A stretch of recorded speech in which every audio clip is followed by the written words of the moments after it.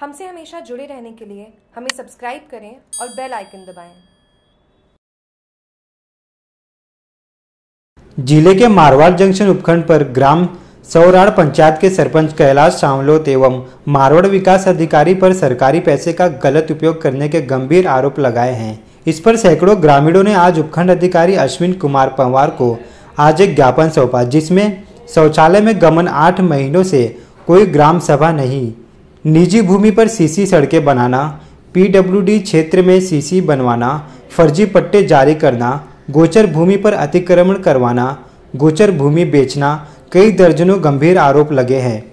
लोगों की अवैध पेंशन उठाना, अंगूठे करके नरेगा का भुगतान उठाना जैसे गंभीर आरोप सरपंच पर लगे हैं। इस पर ग्रामीणों ने क्षेत्रीय प्रधान विधायक, जिला कलेक्टर एवं प्रधानमंत्री तक निवेदन और ज्ञापन दिए।